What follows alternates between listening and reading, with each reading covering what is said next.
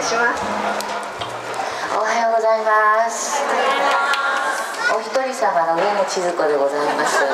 まあこんな縁起でもないタイトルの講演会によくもまあいらっしゃったと思いますが思ったより若いですね。私今全国でこの話してくれって言われて呼ばれてるんですが大体いらっしゃる方の平均年齢は60代から70代今日なんか若いですね男性もいらっしゃる。不安な男性がいらっしゃる。でも大丈夫です。皆さん。いずれは遅かれ早かれみんなお一人様。皆さん方お一人様予備軍です。あの子供たちもいずれはお一人様。時間の問題です、えー、で、えー、私は今年ですね、えー、記念すべき誕生日を迎えまして、え高齢者の仲間入りをいたしました。で地元の自治体から介護保険証が届けられてまいりましたで今年の9月15日敬老の日生まれて初めて高齢者になった敬老の日を迎えたので、えー、まんじゅう来るかと思ったら来ませんでした。なんか増えすぎてきっと自治体ももうくれないんですよね。昔私のばあちゃんの時ねなんか紅白のまんじゅう来たような気がするんだけどね。でちょっと皆さん方に今から感動の映像を見ていただきます。これはね国森康弘さんという写真家の方が日本人の死に様というものはこういうもんだった。で、えー、月になった波ばあちゃんっていう写真集シリーズでお出しになったんですが、えー、レンちゃんっていうこのこの子供さん孫じゃないです。ひ孫。で、えー、これを見とったご家族ですね。で日本人こうやってね昔畳の上で死んでたんですよ。で、えー、もう本当一族に囲まれて、えー、あの蓮ちゃんというばあちゃんあのひ孫さんがおられてでそういう命のバトンが次の世代に受け継がれていく。この赤ちゃんなんかもうねひ孫どこかやしゃごかもしれないですね。今まああの、えー、ここういう死に方っていうのはもうあのだんだんできなくなってまいりましたがあの私がこの写真をお見せしたのはねあの国森さんこれで本当に全国に大変有名になりました。でこの写真をお見せしたのは他でもない。こんな死に方はもう望んでも無理だということをお伝えするためです、えー、あのこの死に方ができるための条件はまず家にこれだけ家族がいてで何しろ嫁がいる。嫁の介護欲がある。であのこの中でちょっと見てください、えー、ほらなんかね下にくれてるこれご長男ですかね。ケロッとしてるお姉さんが約1名。まあこの人、まあ、分かりませんけどお嫁さんじゃないですかね。であの嫁っていうのは嫁の介護はただ働きで、えー、日本では私嫁の介護はこう言ってるんです。えー、評価なき対介護対価なき介護感謝なき介護ですよ。で、まあ、こういう人の支えがなければ、えー、在宅死はできないでこの時代良かったと思われます、えー、こういう死に方したいと思います。この嫁の立場に自分がなったらどう思われます？と思ったらねもう望んでも無理だっていうところから話を始めたいというふうに思います。でこの本を書きましたらおかげさまで売れました。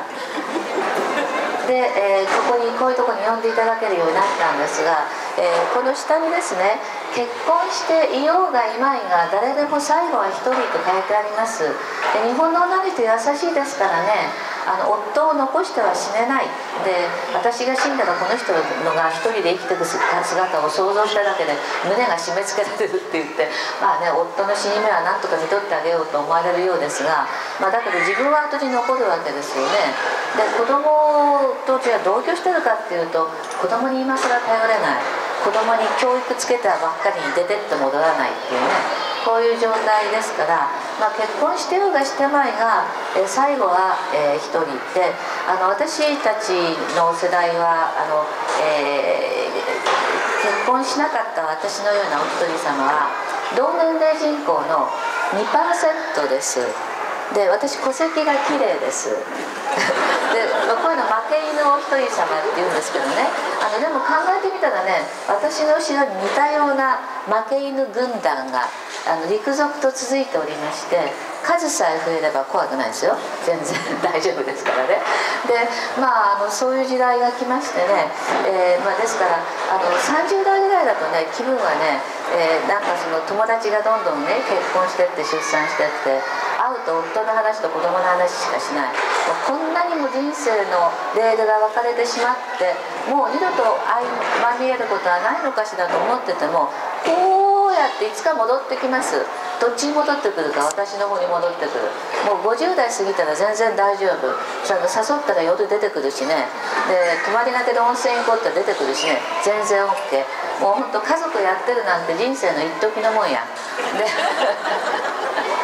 でそうそうそう私はねもうそういうお友達にね「おおよく戻ってきた戻ってきた」って言っても一緒に今遊遊んでいただいておりますけどねまあ人生なんてそんなもんですでまあこういう本を書いたら売れましてこれはもともと女性のために書いたんで男の方から「男性版ないんですか?」と言われたので書きましたでこれはあのそこそこ売れました。はい。えー、で、えー、今私3冊目の本を準備中でその本のタイトルが「お一人様の最後」っていうんです。でこれでお一人様シリーズ3部作完結の予定なんですがそれ書いた後もまだね死にそうな気がしない。で4冊目のタイトル決まってます「お一人様の死後」っていうんです。えっとまあこういうもんなんですがでここのとこ東京でですね驚く中でこういう在宅一人史準備セミナーっていうのをねもうシリーズ何回かやってんですよ。でや初めてやったのが1年前でした。でやった時にね主催団体が500人の会場を借りてこんなね縁起でもないタイトルの講座に人が来るかいなと思っておっかなびっくりだったんですがなんとあっという間に会場が埋まりお断りまでしました。でね来た人は上野が基調講演です。で天本博さんって言ってこの方ねあの天本病院という地域在宅医療を実践しておられる病院を東京都の郊外の多摩地域に20年以上前に進出した方なんですね。で多摩地域に20年前に山本病院進出した時に反対運動が起きました。年寄りが出入りしてもらうと地域のイメージが落ちる。から徘徊が出ると困る。霊柩車が出入りするの見たくない。ねえ何考えてんやろうね。自分だってその年取るって考えてないんですかね。でこのセミナーをやる前日に多摩在住の私の友人からメールが来ました。それにこう書いてありました。20年前私は反対運動をしました。今反省していますと書いてあった。で、えー、やっぱり20年前初めて出てる時には地域に抵抗勢力あったんです。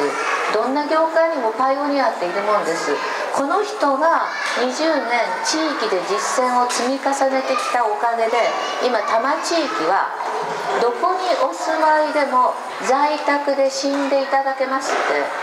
そういう地域になったんですよね。そういう立派なドクターがちゃんとおられるんです。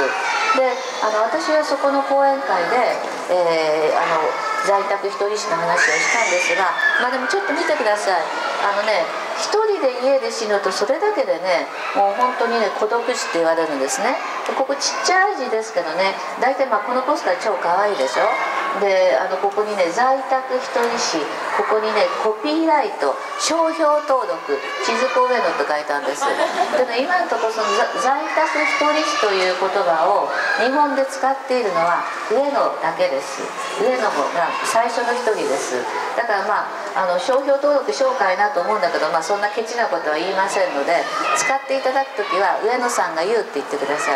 一人で死んで何が悪いんだ？即孤独死だって言われる理由なんか何もない。人様に支えていただいて、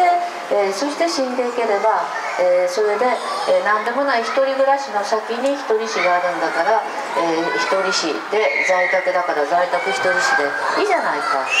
なんでかって私のもともとですよ、えお一人様の道具を書いた動機はね年寄りが一人でいるだけでお寂しいでしょうにっていう挨拶が降ってくる大きなお世話だっていう言いたい気持ちがあったからですね。でまあこういうことをやったんですがでこの時私本当にねあのびっくりしたことがあります。あの後でここでもねちょっと後でやり取りしますけどね。あの質疑応答の時にねあのこんな言葉が飛び交うんですよ。一人で死んでもえー、自分の遺体の始末は一人ではできません。どうしたらいいですかとかね。葬式どうしたらいいですかとかね。遺言はどうするかってね。あの死とか遺体とかそういう言葉が本当にねあの飛び交う公共の場で飛び交うようになった。まだそんなこと口にするだけでね縁起でもない滅相もないって言われたのが、えー、そういうことを公然と人が口にするようになった。で私はつくづく思いました。死をめぐるタブーが急速に解かれつつある。今就活っていう言葉がありますよね。あの天ちゃんですら。あごめんなさい。天皇のことなんですよ。愛称天ちゃんですらね。ちゃんと就活しておられるじゃないですか。ああいうことをね縁起でもないあの不敬だという人もいなくなっちゃいましたよ。でだってなぜかっていうと超高齢社会の死は大変ありがたいことにゆっくり死で予期できる死なんですよ。準備したらいいじゃないですか。でということをやってですね私この会場で会場を埋めた500人の方たちにした質問があります。2つあるんです。この2つの同じ質問をこれから皆さん方にします。でこれを私はね聞きたいという好奇心を抑えられないなぜか東京と弘前の地域差が知りたい。えー、ちょっと手を挙げてくださいね。今からお聞きしますね。問いその1死ぬ時に誰かに手を握っていてほしいですか？と思う方手を挙げてくださいはい誰ですか？ヘルパーさんでもいい？まず後でしましょう、えー、じゃああのそんなことは期待していないし考えてもいないっていう人どうでもいいっていう人。おおこっちが多いですね。じゃあもう一つ。死ぬ自分の死のとこの周りを子や孫に取り囲んでいてほしいですか？そうしたいできればそうしたいという方はいはいはい。別にあの幸せな人なんだからそういうことが望める人は堂々と手を挙げてください。そんなことはどうでもいいどっちでもいいっていう人だ方ああやっぱりこ多いですね。へえああそう弘前でもこうなんですか。もう期待できない。上野は期待できません。だって声は孫いないんだもん。でこの前ねあの私と同い年の大人が8人集まって話をしてました。その8人が産んだ子供の合計が5人。孫が0あんな声聞こえないですよ今。もう今そういう時代です。あの子供たちここの数の方が多いんだからね。でまああのそうなると、えー、もう子や孫に取り囲んでいてほしくても期待できる人もいればできない人もいるというそういう時代です。であのその時の東京会場の皆さんのご反応をお教えします。えー、死ぬ時に誰かに手を握っていてほしいですかっていう質問に対する東京の皆さんのお答えこうでした。でそれからね自分の死のとこの周りを子や孫に囲んでいてほしいですかっていう質問に対する答え。これも。まあ、こういう人だから来るんです。だからまあここに来た人も相当ねあのまあ黒崎では特殊な人たちかもしれない。だから私はここで聞いたこの反応をね弘前こうでしたよって言って弘前がを代表するわけじゃない、はい、やっぱりかなり浮いた人たちなんだねこの人たちは。はい。えー、というわけで、まあ、こういうことをやりながらですね、えー、私はこういう本を書きました。えー、これがこの本なんですけどね、えー、今年3月に出ました、えー、これは、えあの地域で在宅看取りということをやっておられる小笠原ドクターに、え根掘り葉掘り聞いたもんです、えー、がんの終末期でも家にいられますか？痛みのコントロールは自分でできますか？夜が不安で眠れない時はどうすればいいですか？離れて暮らしている家族とはどんな関係を作っておきますか？認知症が入ったらどうしますか？お金はいくらかかりますかということを根掘り葉掘り聞きました。知りたいでしょ？本買ってください。お金はねくらかかかりますいくらかかかりますがベラボーにはかかりませんっていうのをなんとかさんのペースなんとかさんのペースっていう事例挙げて書いてありますからご覧になればねああこの程度ですぐならなんとかなるわって気になられるはずです。えということをまああのこのところ私ずっと調査研究してるんですね。でそれでね、えー、こういう臨床現場をお尋ねしてきました。であのこことこやっぱり死の臨床をめぐる常識というものが急速に変わってきたっていう実感を持ったんですね、えちょっとここ10年から20年ばかり、え関連の書物どんなものがあるかっていうのを調べてみたんですがえー、あの在宅医療のパイオニアやっておられるのが山崎文夫ドクター東京都郊外の小平市でケアタウン小平ってやってる方なんですがこの方元はね救急医療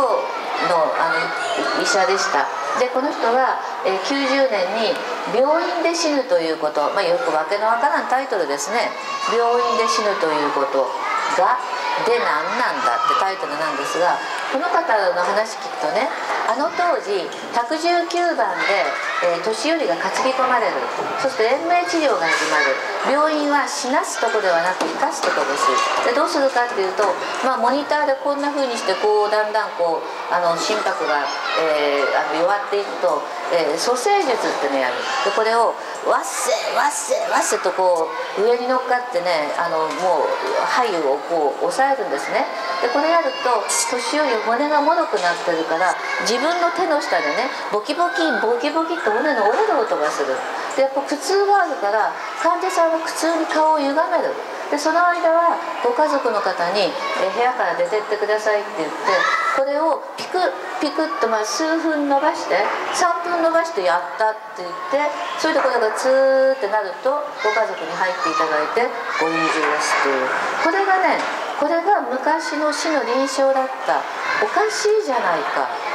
こんな死に方が安らかな死であるはずがないって思った山崎ドクターはその後在宅医療に、えー、シフトなさったんですね。で見てみたら、え98年に宮崎和歌子さんこの人ね訪問看護師さんですが家で死ぬのはわがままですか？わがままなんだって家で死ぬなんて考えただけでわがままなんだってひどいね。でまあそれで、えー、2008年ぐらいになるとやっぱり家で死にたいんだ。やっぱりってばつけなくてもいいと思うけどね。でまあだんだんねこの辺で自宅で大往生とかね、えー、人生だったとかね。それから、えー、あのえまあ平穏な死に方をしたかったら医者に関わるなとかそういうのが出てきました。で、まあ、これが山崎さんがですねあの本を書いてから、えー、ちょうど、まあ、20年目にね今度は家で死ぬということちょうど逆転した本書かれました。これもタイトルよく分かんないタイトルで何なんだっていう。まあでもそれまでに山崎さんは、えー、家で死ぬ方がずっとね、えー、穏やかな死なんだ。ということを発展されてそれ実践してこられた。でそれで病院で死ぬなんてもったいないなっていうこういう本をお書きになるようになりました。で最近ここのところ在宅医療関係の本がたくさん出てきましてですね。で沖藤典子さん。この方高齢社会を良くする女性の会の会員の方で代表樋口典子さんあ樋口恵子さんですね。この中に高齢社会を良くする女性の会の会員の方いらっしゃいます？いらっしゃいます？いらっしゃらない？えっと、今手挙げた人は弘前在住者じゃないの。知ってるの？弘前在住の方で高齢社会の会員の方いらっしゃらない？あらいらっしゃらないの？あらそうなの？へえそれは残念。あの入ってくださいとってもいい会でね介護保険作ったのはこのお,、ね、おばさんたちの力ですよ。で樋口恵子さんの力。で樋口恵子さんのギャグ聞けますからとても面白いです。あの樋口恵子さんってあのえー、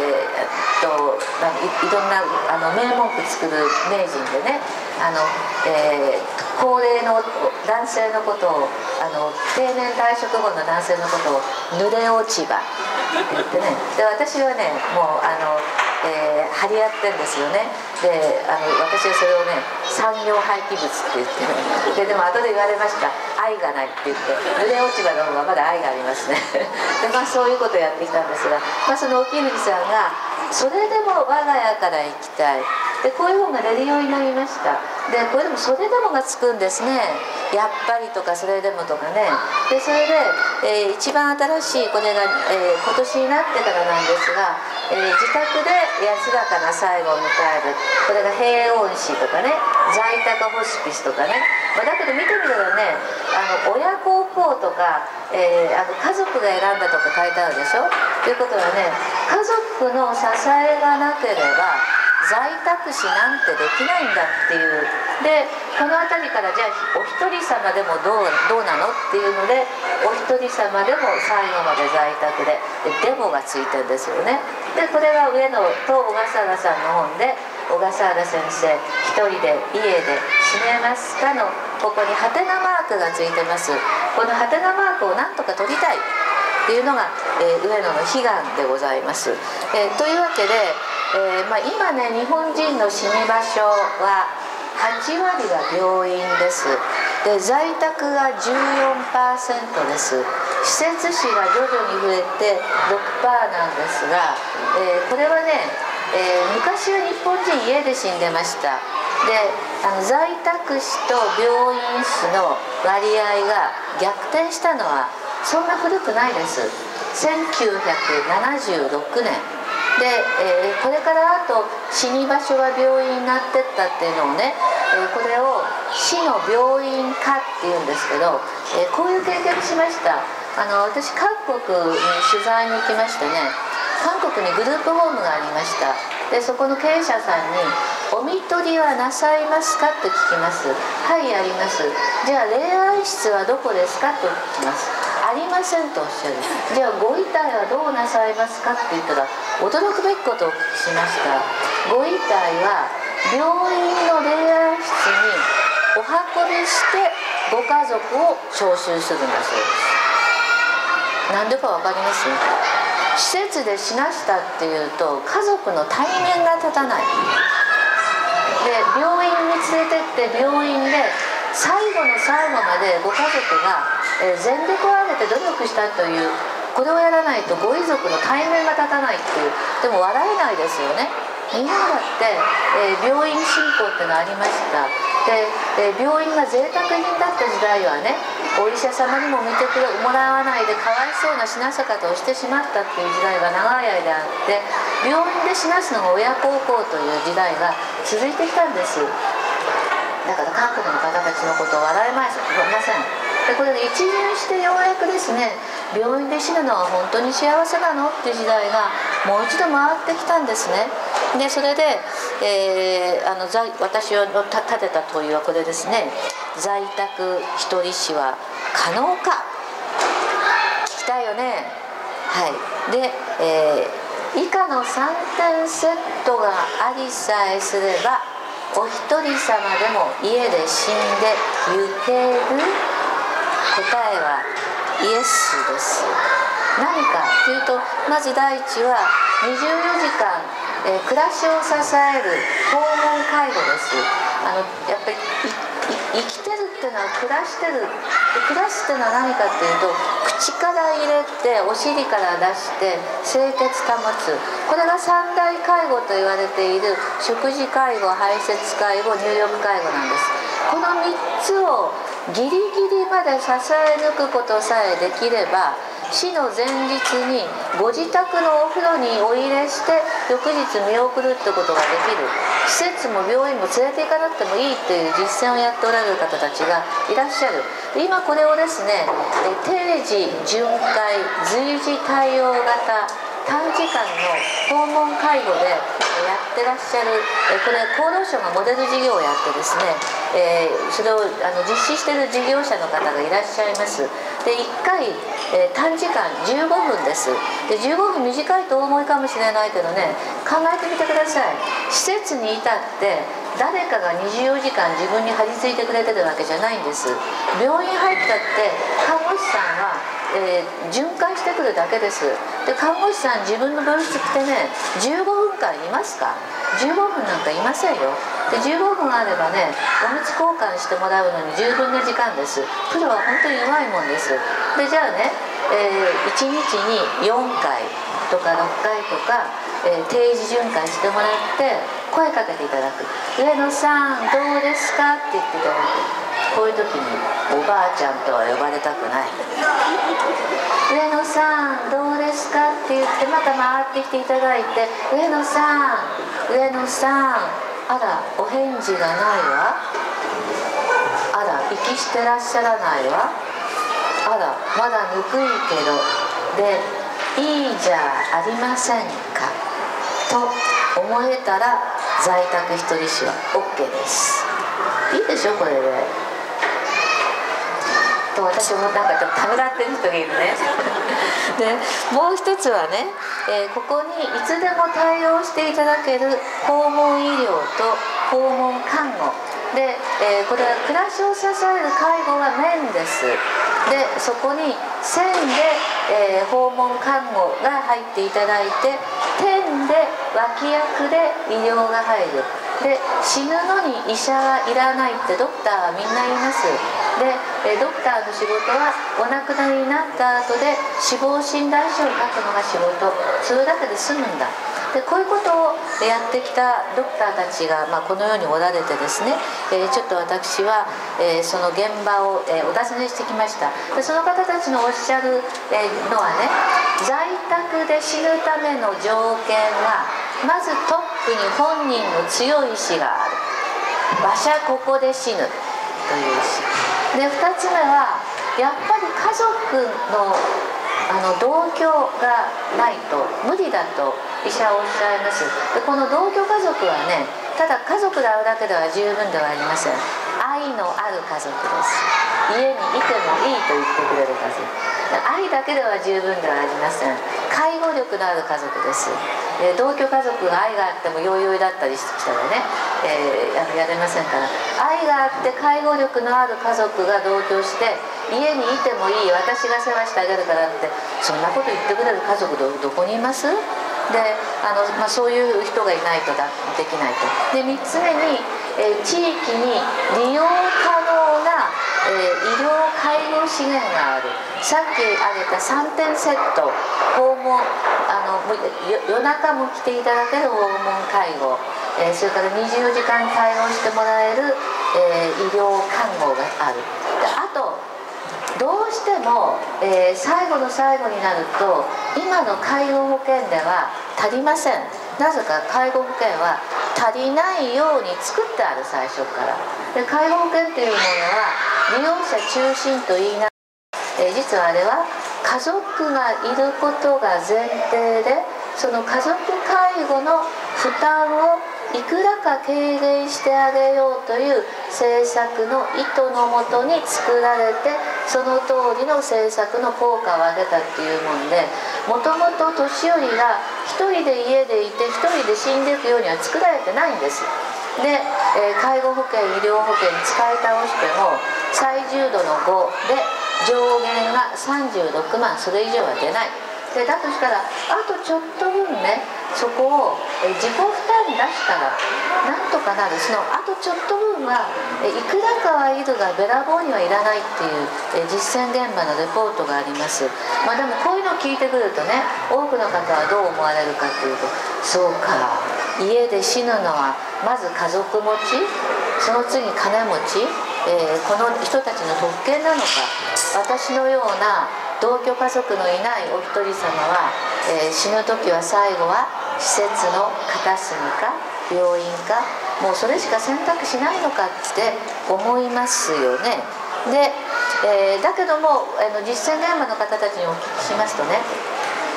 今在宅のターミナルケアは完全に可能だと。だとおっしゃいます。それから痛みのコントロールも家で100%できる。で食い下がります私は。お一人様でも OK ですか？はい大丈夫ですとおっしゃいます。そのための条件が介護看護医療の多職種。定型というものがあればいい。でこの方たちがやっぱり一番高く評価なさるのはやっぱ最後の最後まで暮らしを支える介護力。これさえあればいい。この介護力の外付けで、え、持ってこれたらいいというふうに、え、おっしゃいます。で、え、最近私はこう考えるようになりました、え一人死だからといって即孤独死とは呼ばれたくない。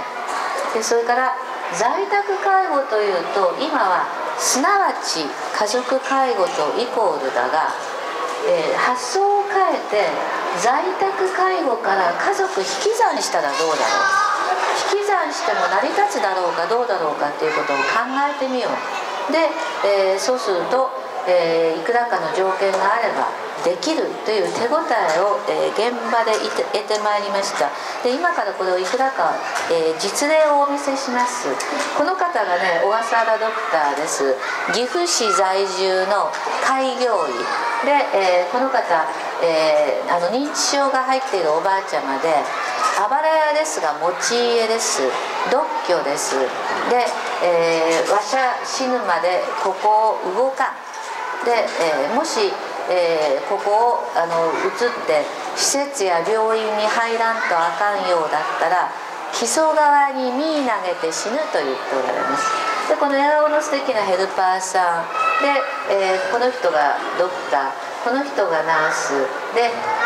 どっかで見た顔なんですが役に立たない上のがですね今ね何やってるかっていうとこういうドクターの往診のにくっついて歩いて往診同行取材ってことをやってます。でこのドクターにお願いするのは2つの条件です。1つは独居のご家族ご家庭に連れて行ってください。もう1つはできるだけ死にかけの人のとこに連れてってください。でお尋ねしました。で、えー、このおばあちゃまのとこをお尋ねしてですね。後で、えー、小笠原ドクターから私にご報告がありました。上野さん一緒にお尋ねしたあのおばあちゃま私たちがお支えしておばあちゃまのご希望通りご自宅でお見送りしましたよっていうご報告があった。で、えー、このドクターですね、えー、年寄りの貯金の額を聞き出す名人です。自分の貯金の額なんて子供にも言いたくないもんでしょ？ばあちゃん金持っとんのやろ。なんぼ持っとんのに言うてみ。6万ぐらいか。そんなもんや。あれへんでとおっしゃいます。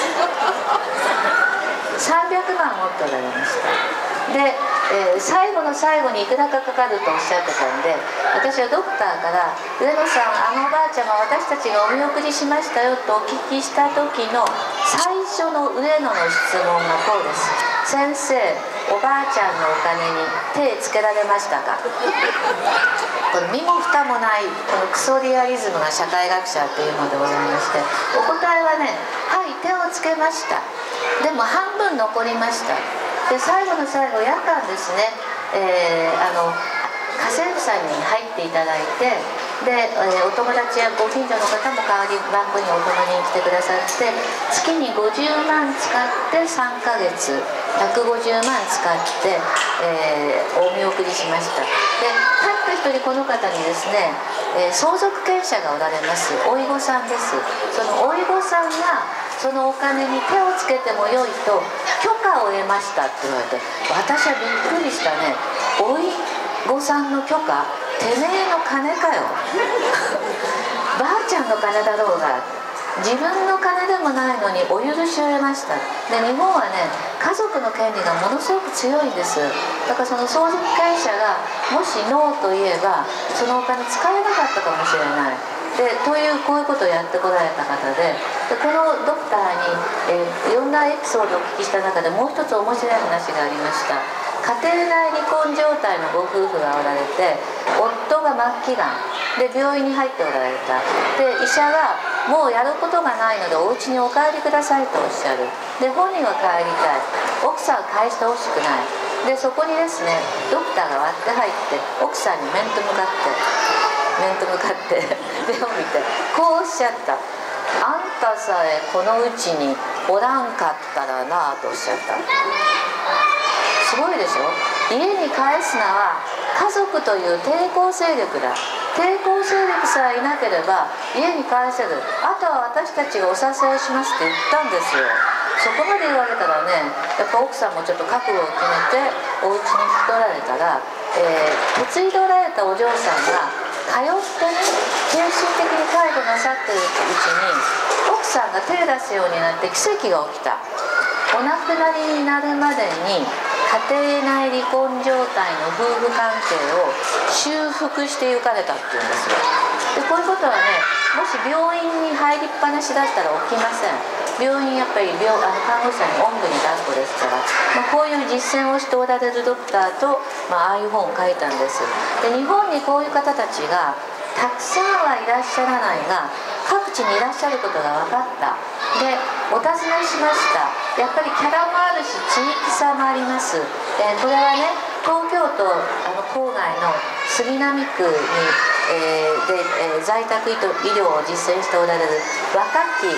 プライマリーケア一時医療の,、えー、あのリーダー松村真二君なんですが、えー、この方、えー、末期がんの患者さんです。で、えー、在宅でお一人暮らしです。息子さんがおられますが栃木在住で3時間かかります。で、えー、3ヶ月に1回ぐらいしかあのお会いになりません。でそのこの方を、えー、チームが支えてるんですね、まあ、でも分かりません。土壇場なれば息子さんが病院に入れるかもしれずあるいは自分の近くの施設に行き取るかもしれない。で、えー、まあ、ご本人がここにいたいというご希望を叶えてあげたいと思ってやっておられる方です、えー、それから、えー、これがですね、え先ほど本をご紹介した山崎文夫ドクターです。でケアタウン小平っていうところで、え在宅医療をやっておられてあの一緒にご同行しました。この方独居のがん患者さんです。私と同い年です。で、えー、抗がん剤の治療でこういう状態になって、えー、あの一緒にお尋ねしてで、えー、ご本人が「写真撮ってもいいですか?」って聞いて「いいです」って許可してくださったので、えお写真を撮らせていただきました後でドクターからですね、えご報告を受けまして「上野さん一緒にお尋ねしたあの方お尋ねした1週間後にお見送りしましたとおっしゃって亡くなる1週間前のお姿ですねでこういうことをやっておられるんですねであのこのドクターですね、えー、あのもう小平市で過去10年以上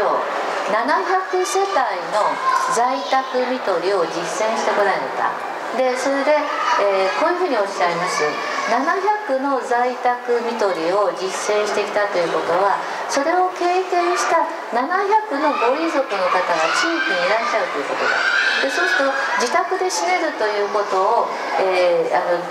経験として知っている700世帯のご遺族の方たちが地域の資源になる。でそれをつないで家族会をお作りになってですねその方たちが、えー、ボランティアをやるっていう仕組みを作っておられます。で素晴らしい実践なんですが私はやっぱりねこういう聞くとやっぱり心がざわつくんですね。家族家族っていうが誰だよ夫かよ妻かよってそこにジェンダー入れてみろよって思っちゃってね。で多分ねご家族とおっしゃるのは夫が見送られた妻でしょうね。ちょっと妻がお一人様で家に残ります。で多分この首都圏はね子供さんほとんど同居しておられないんでお一人様になる私はドクターに食い下がりました。じゃあお一人様になられた、えー、その、えー、ご家族ご遺族の妻ですね。その妻はじゃあ自分が今度はいよいよとなった時にどうお考えになるだろうか。私が、えー、私というものがいたから初めて夫を家で見送ることができた。でもこの私には私ができたようなことをやってくれる相手はいない。子供にそれを期待することはできない。だとしたら私は家で死ぬことはできず施設か病院に行くしかない。というふうにお考えになるだろうか。それともあの夫の時にできたんだから、えー、ドクターの支えや、えー、ナースの支えがあれば私も一人でここで、えー、家で死んでいこうというふうにお考えになるかどっちでしょうねって食い下がりました。でドクターのお答えは半々でしょう。まあ半々ってのはね僕は分かりませんっていうのとほとんど同じですよ、まあ、だからまあこれからの課題はそうですね。あの家族のいない同居家族のいないお一人様がえあの家で死んでいけるかどうかっていうのが次の課題だと思います。でもこの方の場合この方独居です。男性で独居です。で、えー、まあ、こういうことをやってこられたわけです。でこれがですねやっぱ20年前から東京都墨田区で、えー、在宅医療を実践してこられた川越ドクターでえー、墨田区は、えー、経済活動低いです。生活保護の受給率高いです。ここで独居の在宅看取りができたら日本中どこでもできないわけがないとおっしゃって実践しておられる。ついてきました。お風呂のない木賃アパートで末期がんの患者さん男性です。独居で生活保護を受けながらえー、訪問を受けてお一人暮らしをしておられて俺はここを動かんと言っておられる。これを支えておられる現場を見てきました。できるじゃないかっていう手応えがあります。で、えー、それからじゃあ、え、過疎地はどうか。えー、限界集落どうかというと山間急傾斜地山梨です、えー、最後に残った5戸5世帯のお家にお家はね立派なねお城みたいな家ですよ、えー、ここに90代のおばあちゃまがお一人暮らしです。でこの方足が悪いです。で交通弱者です。交通弱者は買い物弱者になります。で、え、ご近所の、え方たちがお買い物のお手伝いをしてで日本の家ってね段差だらけでね車椅子なんか使えないですよ。でも行ってみてやっぱりすごいです日本の家屋はね。えいざって歩けば何でもできる。お買い物だけ手伝ってもらってこのおばあちゃんもお一人で、えー、お風呂、えー、それからトイレえー、食事全部一人でやっておられます。でこの方の、えー、老後を支えておられる、まあ、こういう茶髪のドクターがいるんですけどね。で行ってねあの胸の塞がる思いをしてきました。仏壇にね新仏さんの写真が飾ったんです。ご長女。その年亡くなられた。の家でした。であのもう90代にもなるとねあの自分の産んだ子供も高齢者になるんですね。で人生の不幸の中で子に先立たれる不幸ほどあの大きな不幸はないって言われてますけども自分がうんと長生きするとねあのこういうの高齢逆縁っていうんですけどね。もうお慰めの言葉もないというこういう、ことが起きてきます。でまああのこういうのを支えてる人たちがちゃんといらっしゃるんですね。でこういう現場を見てまいりました。だとしたらねこうやって往診してくださるドクターのいる地方都市や田舎の方が弘前なんかそんなドクターいそうな気がします。で、えー、そこの方が、えー、あのなんか良さそうな気がしてもしかしたら首都圏のど真ん中風邪ひいても大病院に薬をもらいに行くような人たちがいるところは医療介護過疎地帯じゃないかと思ったらなんと新宿のど真ん中都庁の真下にありました。これはですねとても面白い、えー、ビジネスモデルでですね、えー、あの病院から退院してきてということも病院が見放した病院でやることがなくなった方たちを退院の受け皿を作って、えー、往診専門のクリニックで外来すらないっていうとこです。で、えー、これでちゃんとね事業が成り立ってるでどうぞ安心してお家にお帰りください。この方90代のおじい様です。で、えー、あのご家族おられますが子供さんは全部別居しておられますでこの方にお会いするとね私もう初対面ですよ。初対面の私のようなものにねあの、えー、私はね長く生きすぎました。一日も早くお迎えが来るのを待っていますとおっしゃるんですよ。で私はねこういう時に必殺技があります。85過ぎた人には必ず聞くこと質問があります敗戦の時にどこにおられましたかって聞くんですで忘れることのできない記憶ですでこの時にこのおじいさんがね大陸にいましたとおっしゃったそうでですか。よくぞまあいきなりとお帰りになりましたね。どの戦線でしたかって聞くんです。私は勉強しましたからねあたかも見てきたように話す。まあよくもまああの戦線でソ連がここまで来てましたねとかねよく抑留されずに戻っていらっしゃいましたねっていうふうなお話するとねやっぱりこう記憶が次々と出てくる。であのおお別れする時にねあのその方の手を握ってねあのこうやって生き延びていらしたんだからお亡くなりになった戦友の分までどうぞ生き延びてくださいねってお願いしたらはいそうしますってにっこり言ってくださった。やっぱりねあの生を全うしていただくあの私のとっても好きな言葉があるんです。お迎えはいつ来てもいい。でも今日でなくてもいいっていう言葉なんですが、まあ、だから今日でなくてもいい日が一日一日続いていけばどんなにいいですよね。で、まあ、そういうことをこういうことを現場で支えている人が日本にいるんだ。たくさんはいらっしゃらないが確実にいるんだという手応えを、えー、得てまいりました。でこういうことを仕事にしちゃった人たちがいます。ホームホスピス宮崎母さんの家っていうんですが、えー、お作りになったのはこの方市原美穂さんです。で地方に行きますとですね、えー、もうあの大きめの家がガラ空きなんて開いてます。それを一見丸々借り上げてですねでこれを部屋割りしてで、えー、あの5人のお年寄りに、えー、貸し出す賃貸ですね。でそれで、えー、そこに外からホームヘルプをつけて通って夜間は見守りを泊まりでつける。でこれで、えー、見取りまで、えあのおやりになります。月額15万円です。でもカツカツですが、えー、で人数増やせばもう少し楽になるとおっしゃるけども市原さんは目が届くのは5人までですとおっしゃって増やそうとなさいません。でこの方、えー、こういう実践やっておられるんですが、えー、あのやっぱりねえただ介護だけじゃなくって週末まで、え考えると医療の介入が必要になる。年寄りやっぱ急変したりしてね病院出たり入ったりします。でその時にいつでも来ていただける訪問看護師さんが、え力になると考えて宮崎市域でですね訪問看護ステーションを種まきして作っていらっしゃいました。で私がお尋ねした時には訪韓ステーションが22ある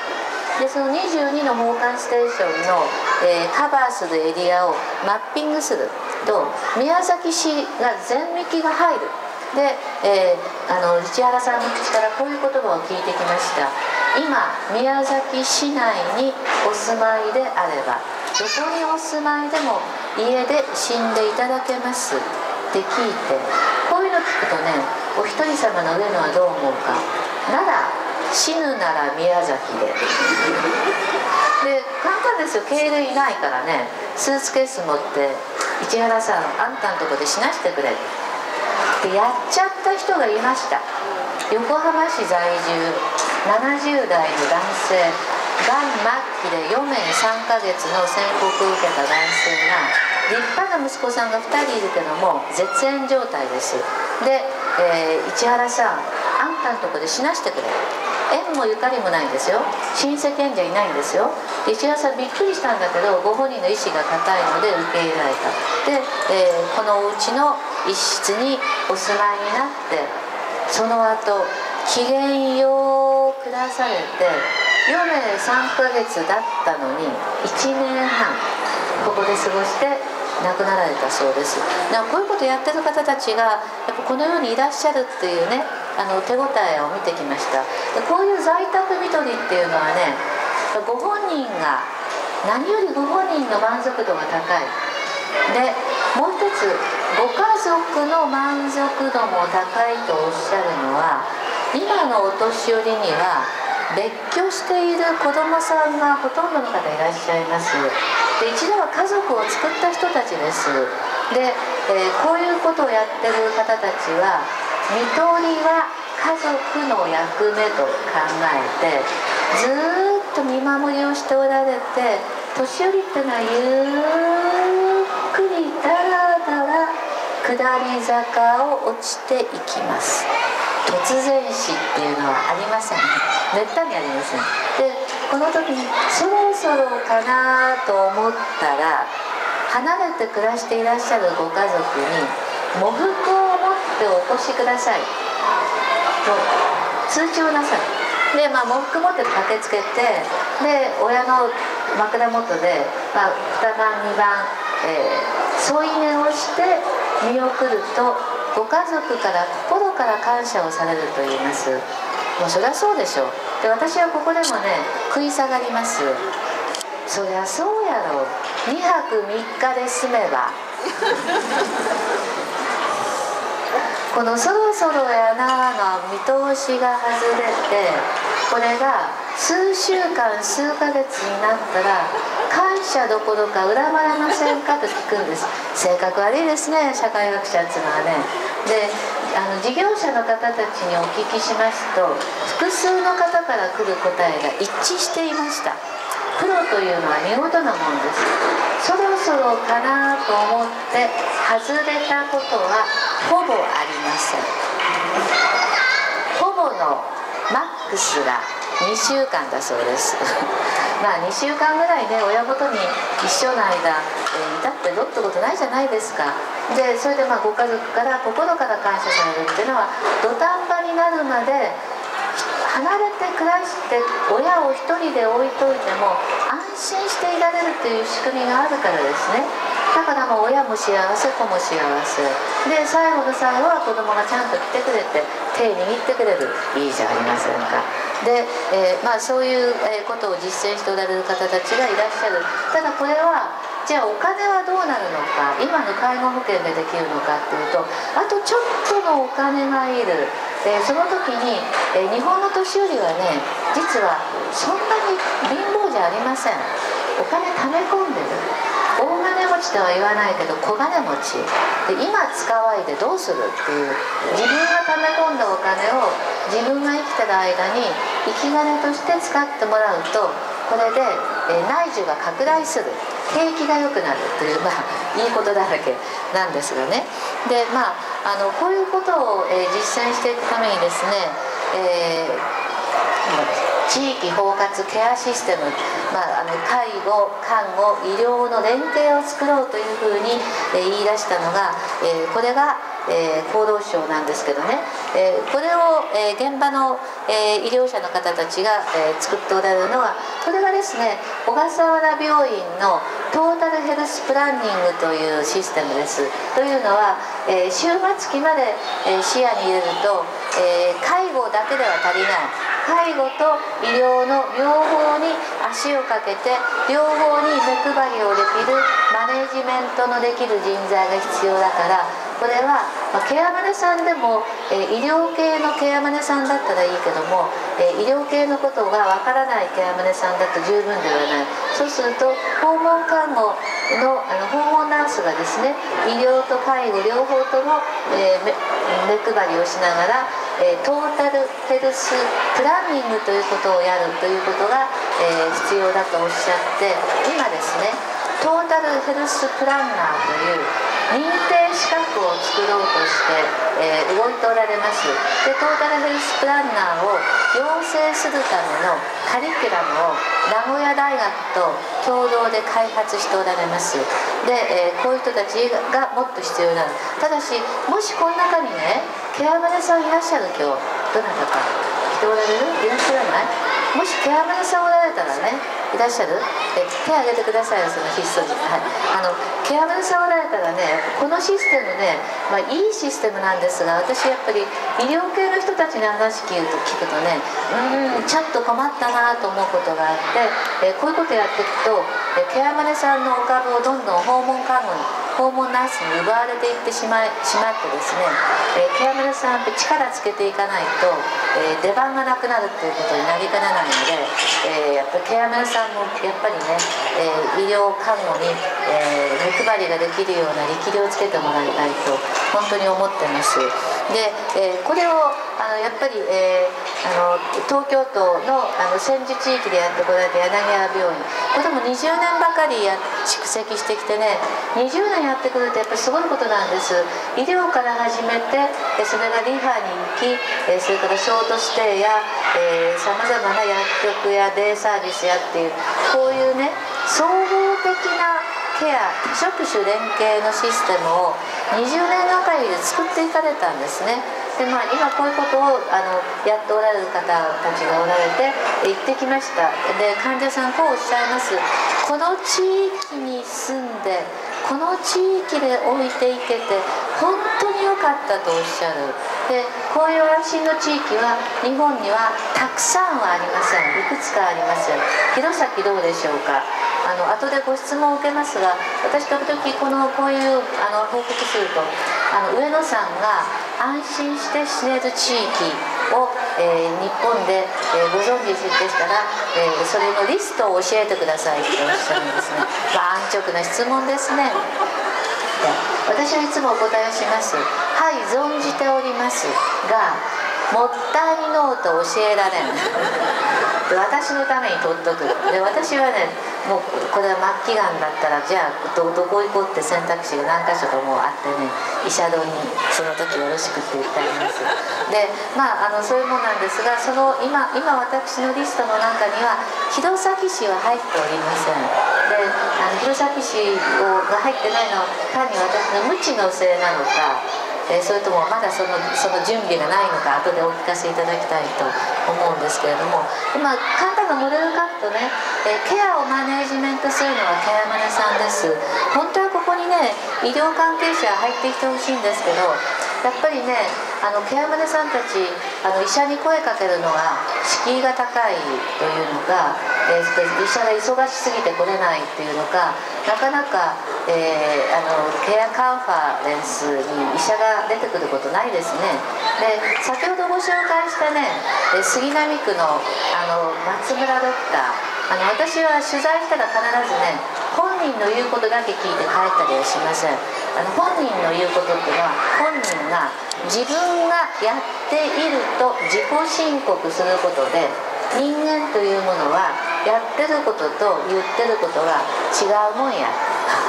だから必ず周辺の人に「あの方は現場ではどうですか?」って、えー、患者さんや、え、ナースやケアマネさんにお聞きします。で、え、松村ドクターと一緒に組んでおられるあのケアマネさんに、えケア患者に「ドクターはお出になりますか?」って聞いたら、えご自分の患者さんのケア患者は全部出席なさいますって聞いて仰天しました。え？って聞いて、えでご本人に、え本当に全部出てるんですか?」って言うと「当たり前でしょう」とおっしゃる。でも当たり前のことやるドクターいませんよね。あんまり。でこういうことやっておられるドクターがちゃんとおられるんですね。でまあここに介護と医療を組み合わせるとトータルヘルスマネジメントというものなんですが私はね社会学者ですからねやっぱりねあの命と健康だけじゃ十分ではなかろう。金暮らし関係そういうものをまとめてやっぱり、えー、考える必要が絶対にあるだろう。でどんなにいいサービスがあっても、えー、持ってる金が使えない状態ではどうにもならないだろうというので、えー、こういう仕組み、えー、トータルライフマネージメントという、えこういう仕組みができたらどんなにいいだろうかと思ってですね。で私は最初このシステムのことをですねトータルデスマネージメントと呼んでいたのですが、えやめました。でまあ生きてる間のことだからトータルライフマネージメントというんですが、まあ、信頼できる家族や友人にも入ってもらい場合によっちゃ成年後見にも入ってもらい、えー、それからボランティアさんそれから税理士さん弁護士さんそれからあの医療関係者えー、でそれからまあ民生委員さん。でそれから葬儀業者さんにも入ってもらいあとオプショナルで信心のある人は牧師さんや、えー、坊さんにも入ってもらってみんなでチームで私のことを考えてもらう。で、えー、このシステムの肝は何かというと専門家による情報の共有と相互監視です。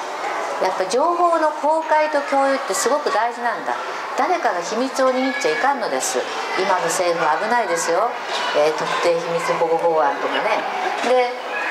あの青年貢献がね私あんまりいい気分がしないのはねたった一人の人に委ねるって危なくないですか？善意の第三者を指名したってね。指名した後で悪意に変わるかもしれないんだ。実際変わった人がいて詐欺がもう起きてるじゃないですか。だから一人の人に誰か託すんじゃなくてチームに託してチームが私についての情報を共有し相互に監視してもらうであくまで私が中心なんだからこれを当事者と言います。で私がたとえ認知症になっても私はどうもね認知症になる確率が高そうな気がします。そう思う根拠があります。嫌っていうほど高齢者施設をお尋ねして認知症者の方のグループホームをお尋ねしてなぜだか認知症の方には元教師が多いという。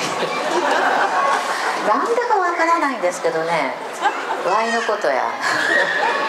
なりそうな気がするんですが認知症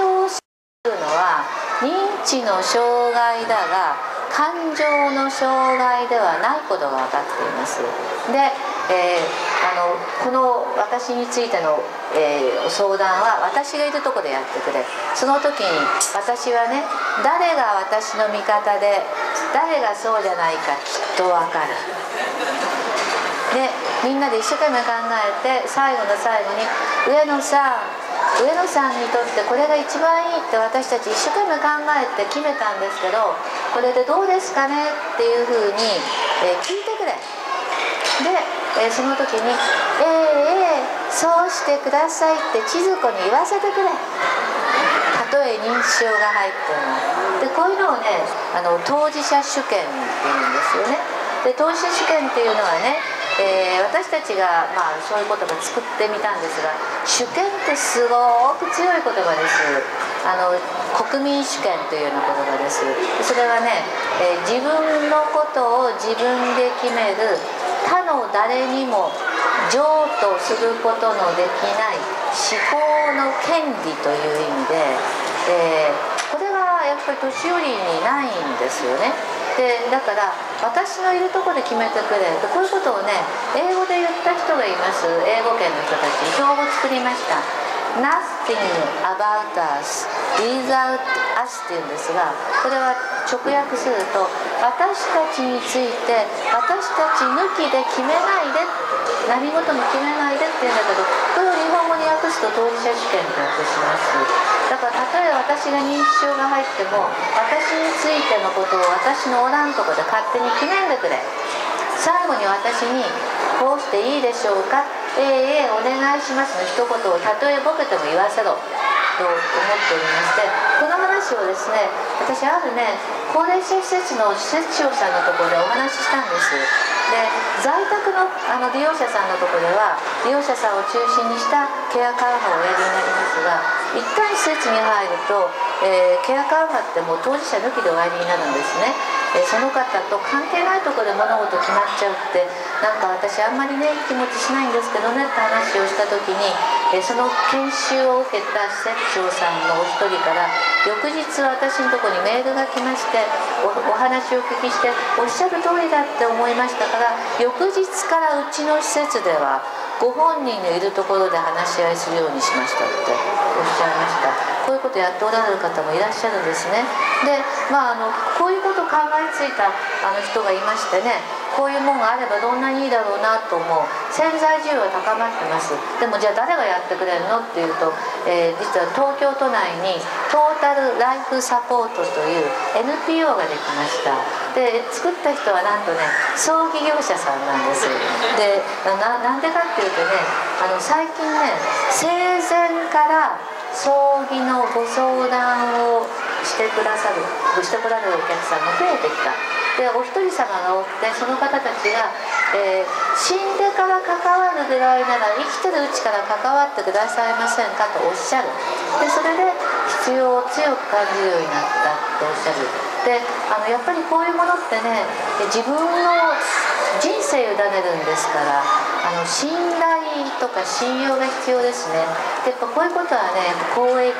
性のある組織例えばまあ社会福祉協議会とかね社会福祉法人とかね、えー、やっぱり福祉公社とかなんかそういうところがねもうちょっとね、えー、信用を持って、え、やってくれるところがあればいいなこういう仕組みがあればいいなあの本当はこういうのってねあのソーシャルワーカーのような人たちの仕事なんだけどねあの日本ではそういう人たちの、え活躍が正当に評価されてきませんでした。で最近本当にね青年後見の人たちも金の管理だけじゃなくって、えー、心情看護が必要になってきてるのでもう嫌ももなくこういう仕組みが必要になってきてます。で私の将来がかかってるんで認知症になりそうな上野が本当に認知症になる前にこのシステムができたらいいな。誰もやってくれんのなら私らが自分でやろうかいなとすら思っております。で、えー、まあ、実例をお示ししたいんですが、えー、っと私の友人にがこんな本を書きました。で、えー、あの私がプロデュースしたんですけどね。あのこの方どういう方かっていうとですねえー、あのアサーティブネストレーニングのインストラクター。カタカナばっかりですいません。自己主張の訓練をする講師講座の講師です。で日本では自己主張した途端わがままって言われる。それをね相手に嫌な思いをさせず自分が泣いたり切れたりせずでちゃんと相手に伝えるために訓練したらいい。練習して失敗して学んだらいい。で安心できるとこで練習したらいいというとこの指導者をやってこられた方ががん転移がんになりました。でがんになってみたら、えー、医者の前で萎縮してものが言えなくなってしまった自分を発見した。じゃあ私が長年やってきたあのアサーティブネストレーニングって一体何だったんだ？今これを使わなきゃ私は何をしてきたことになるんだって言ってで、えー、そのノウハウを経験に基づいてお書きになった本が「生き延びるためのがん患者術伝わる言葉の使い方」でこの方ね、えー、入退院を繰り返した時にですね家族に頼ることができませんでした。でこの方あのインターネットの使い手です。でお友達を10人、えー、メーリングリストでつないでですね指令を飛ばしました。でなんとかさん入院の手伝いあなたがやってね。なんとかさん退院の手伝いあなたがやってね。でなんとかさんうちから何々持ってきてねって言って乗り切った。で後で私にご報告が来ました。上野さん10人っていい人数だわ。頼んだ人が「私その日都合が悪い」って言われてもその情報を共有してる9人の中から「あ私が空いてる」っていう人がいて乗り切れたっていうんですね。でこの人はこういう力のある人です。もう一つ例をお話しします。私は自分より年下の友人お一人様の友人をがんで最近見送りました。で彼女は完全にお一人様でえ子供も孫も老いも姪もいない人です。で、え親もいません。で彼女の友人親しい友人がキーパーソンになって女を30人あのメーリングリストで束ねました。で病状が時々き、ま、報告が来ます。で入院支援なんとかさんやってね退院支援なんとかさんやってね。それから在宅でえー、通いながら抗がん剤治療をしていた時には何曜日何とかさあなたが行って玄米菜食作って一緒にご飯食べてあげてね。何曜日あなたが行ってね。何曜日あなたこの当番のこのこの人が都合悪いからじゃあこの日あなた代わってねっていうこのマネージメントをやって仕切って彼女を支え抜いて見送りました。で亡くなった後思い出話をする機会がありました。私たち本当によくやったよね。でその理由はご本人の人徳もある。でキーパーソンになった方の尽力もある。それだけじゃなくってそれに関わった私たち一人一人の中に下心がなかっただろうか。これがうまくいけば自分の時にもやってもらえる。でえー、と言ったらですねこう言われました。彼女いくつで死んだと思う？去年57歳です。57の女の友達いくつだと思う？50代60代。まだ元気です。私たちに本当にそういう支えが必要になるのは今から何年後だと思う？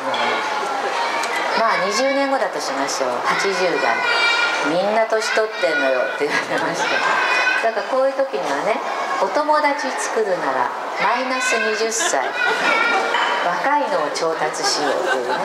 で、まあ、こういうことをやってきた。であの中でもこういうことはね今ねやっぱり特別な能力や人持ちという資源のある人たちの特権です。実際に在宅一人死を実践した人たちの現場を見てみると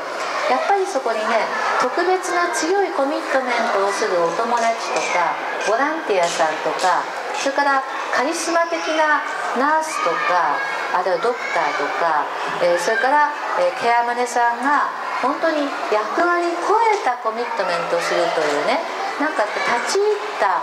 誰かのやっぱスーパーパワーがないと現場ではハードル越せないっていう現状があります。制度の枠を超えた、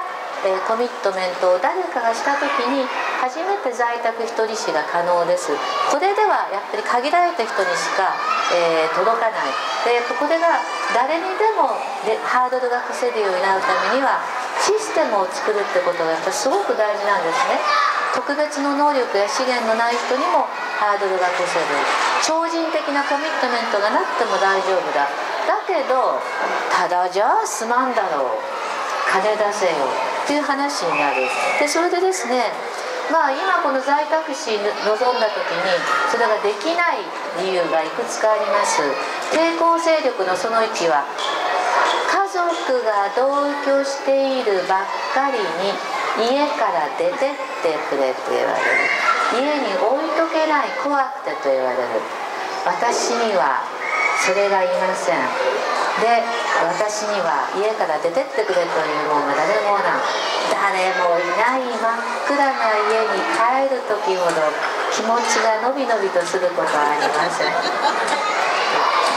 でもう一つの抵抗勢力は病院しか知らない医療科関係者です。こんな重篤な患者さんを家に帰せない。ましてや誰もいない家に帰せないとおっしゃるのを小笠原ドクターたちは「いいえ大丈夫です。私たちがお支えします」と言ってシステムを作ってこられたわけです。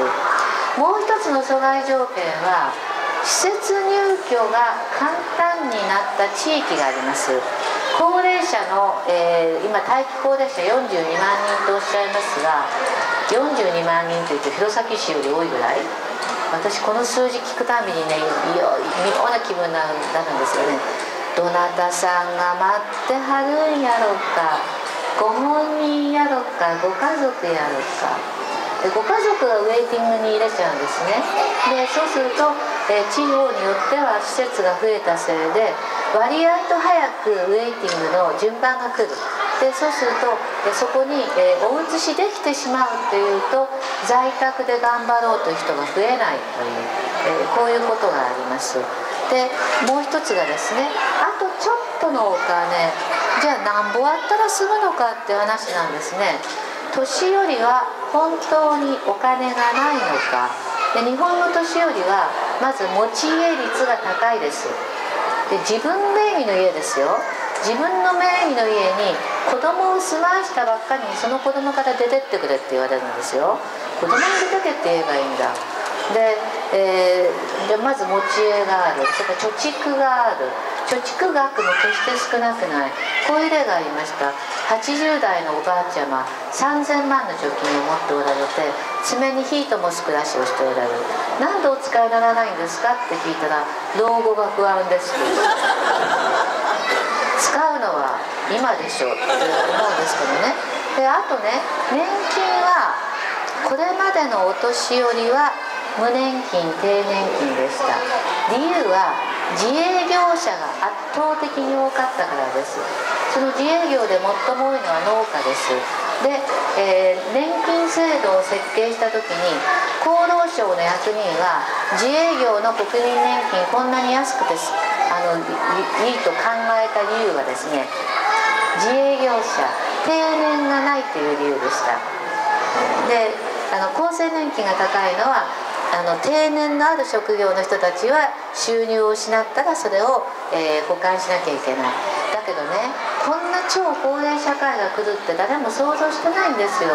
えー、まあ死ぬ前日まで裸に出てて翌日ぽっくり死んだっていうお年寄りもいらっしゃるけどね。でもやっぱりね70代80代だったらまだいけるかもしれません。90代とかだったらもう本当に畑に行くのも無理ですよね。こんだけ長生きしてでもう人が死なない時代になるというふうに年金の制度設計をした時には役人は思ってない。で、えー、これまでのお年寄り今のお年寄りは、えー、無年金低年金の方が多いんですがこれからの年寄りは勤め人の経験者が、えー、多いです。でそうすると2階建ての年金が入るのでこの年金も決して少なくはない。で、えー、あと女の人は夫を見とれば家と年金は4分の3全部自分のものになります。で高齢社会を良くする女性の会で独自調査をやってね自分名義の不動産がありますかって聞いた時の答え。なんと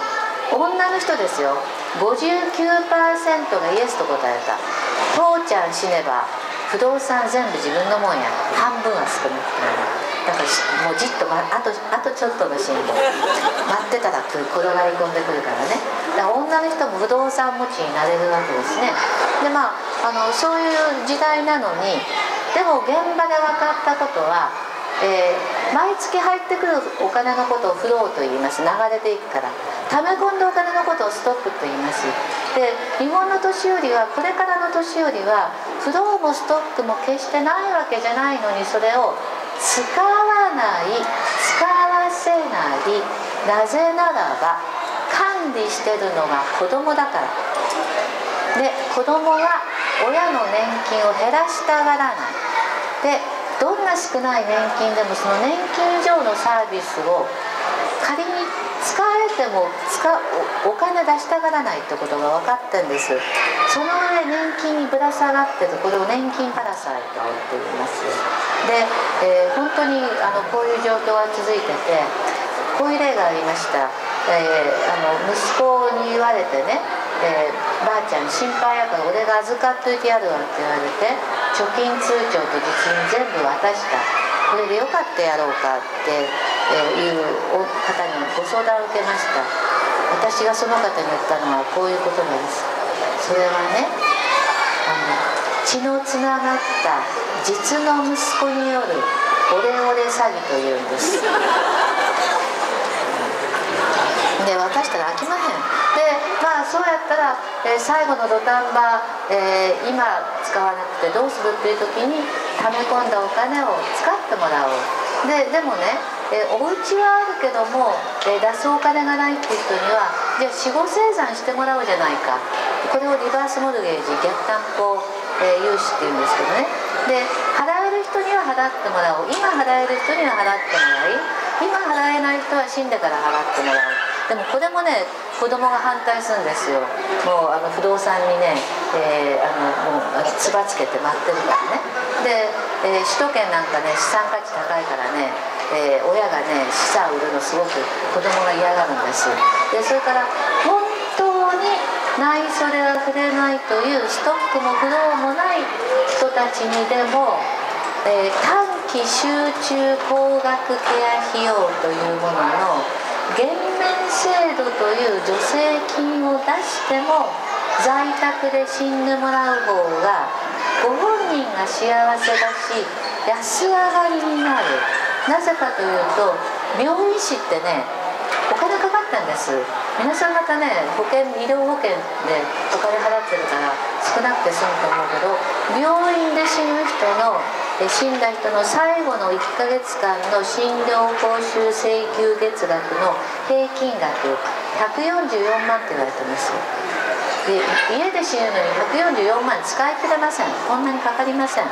でそうするとえー、こういう制度を仮に作ったとしても家で死んでいただく方がえ、医療費介護費の総額費用が抑えられると最近厚労省もようやく分かってきてこっちに誘導しかけてきてるんですけどもでも私がこんな風に言うのは厚労省の回し者だからではありません。それがご本人のお幸せだからです。で、えー、あのあとですね、まあ、そうなるとあの私を負け犬のお一人様なんだけどね子供がいてよかったのか悪かったのかなどっちなのかな。子供を産んどいて老後の安心のもとなのかそれとも老後のリスクなのか、えー、自分のお金すら使えなくなるのかどっちなんだろう。それから自分の家からさえ出ていけと言われるのか。で、えー、どっちなんだろうなと思うんですが、まあ、子供がいるかいないかが問題なんじゃなくてどんな子供がいるかが問題です。というよりも、まあ、どんな親子関係を作ってきたか親の金や財産を当てにするような子供を育ててきたかどうかということなんですが、えー、私は、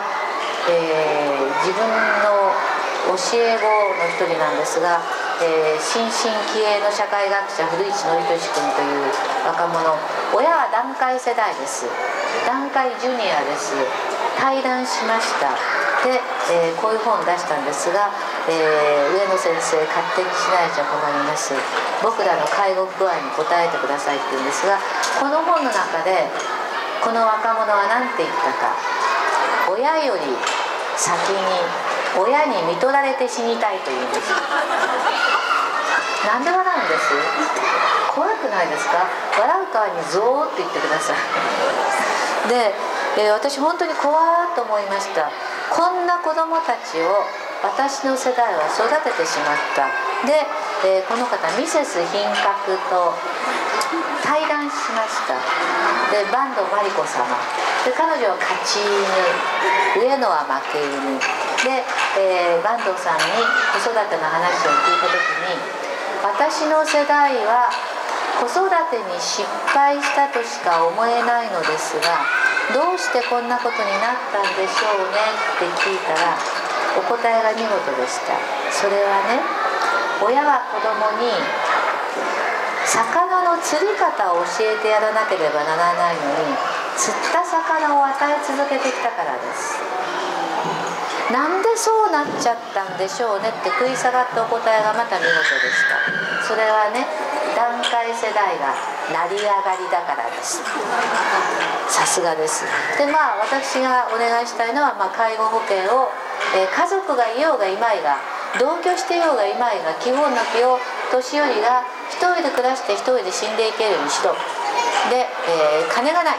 で金がないって、えー、言われるが、えそれで私たちはついにですねえ国民負担率というものを上げることに合意しました。国民負担率というものは税金と社会保険の総額が、え GDP に占める費用です。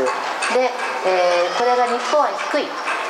世界で一番低いのは、まあ、世界というか先進国ですね。先進国で一番低いのはアメリカです。で負担って嫌な言葉なので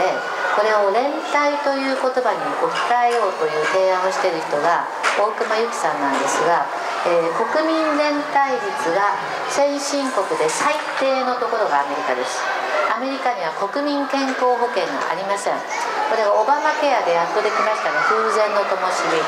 健康保険に加入してない人が5000万人います。救急車も呼べない社会です。こんな野蛮な社会をお手本にしてはいけません。で日本はね、えー、できないのは原資がない。内緒が触れない。でやっぱり痛みを分かち合いましょう。リスクの再分配しましょうというのでついに、えー、消費税の増税を決めました。涙を飲んで決めました。これを決めた時に、えー、前政権は、えー、消費増税分は全部、えー、社会保障の費用に充てると約束しました。で消費増税は大変な、選択なので、え、こんなことを決めたら政権の一つ首が吹っ飛ぶと言われました。事実首が吹っ飛びました。で次の政権が生まれました。で今の政権は何言ってるかというとですね、えー、消費増税分は建設国債の償還に充てるって言ってあります。どういう意味か分かります？レッドをコンクリートで固めてそれを先に借金で使った後の借金返済に使う。最近何を言うたはるかというと、えー、法人税減税分。これとちょうど相殺しますね。でとなると介護保険というものは12年前にやっとできました。使い回しながら少しでも良くしていきたいと私たちは12年間頑張ってきました。やっとその原資を作りました。今の政権が続く間は介護保険が良くなる見通しはこの先3年間ありません。でこれをここで皆さん方にお伝えするのは私は大変悲しいんですが仕方がありません。皆さん方の選択だからです。今の政権選ばれたのはあなた方だからです。で今の政権これから何するかっていうと介護保険今更やめられません。何するか。制度をどんどん使い勝手を悪くしていきます。制約を作って使いにくくしていきます。これを制度の空洞化と言います。で役人と、え、政治家は制度は手つかずにして変えないままそれを骨抜きにしていくことがとっても得意です。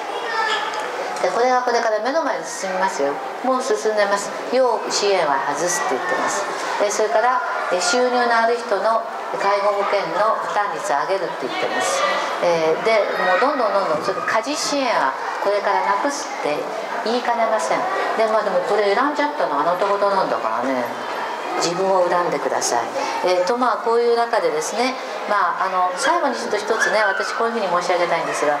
こういうことを言うためにはなんかやっぱすごくねあの覚悟と努力がいるような気がするでしょ。であの皆さん方今日私の話を聞いてねいやー在宅一人しやりたいけど大変だなっていう気持ちになってもらうとねちょっと辛いんでね最後ちょっとほっこりモードで終わりたいと思うのね私は最近また同い年の友人を末期がんで見送りました。で、えー、お一人様には「類は友を読む」でお一人様の友人たちが寄ってきます。でその人が末期がん在宅で過ごしながらですねお友達が多かったんでそのお友達に入れ替わり立ち代わり、えー、泊まり込みをしながら、えー、なんとか、えー、支え抜きました。それでもってあのお友達がホスピス手当してそれでホスピスいつでも入れるよっていうふうに手当してあなたさえ決めてくれればホスピスいつでも行けるんだよ。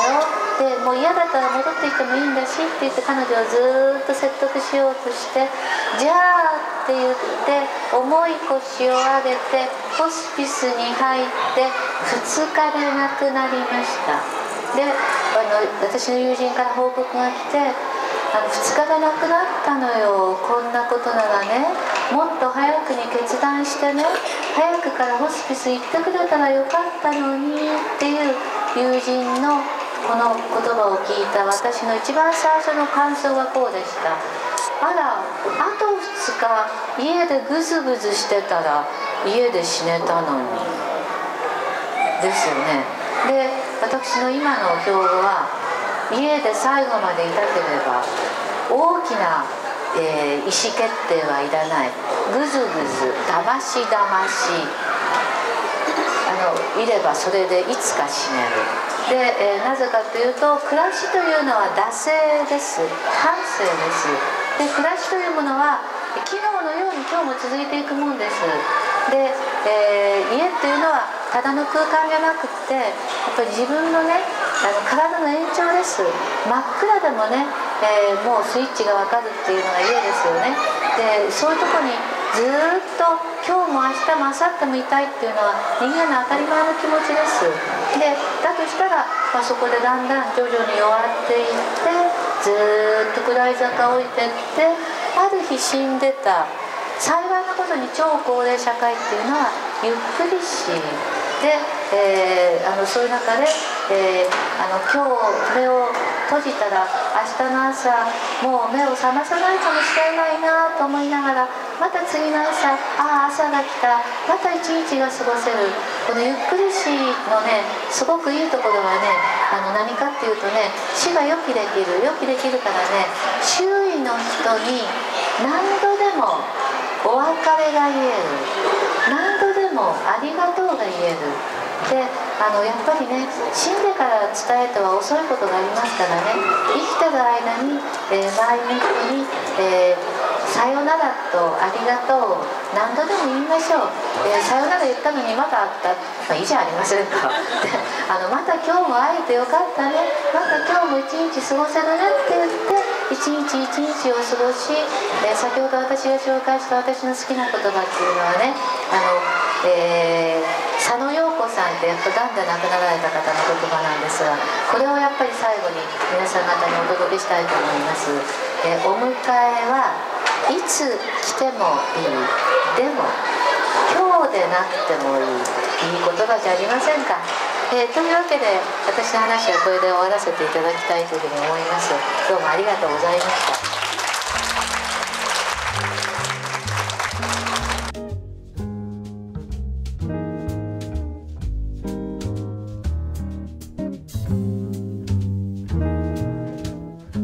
た。でリンゴがついてるの？Thank you.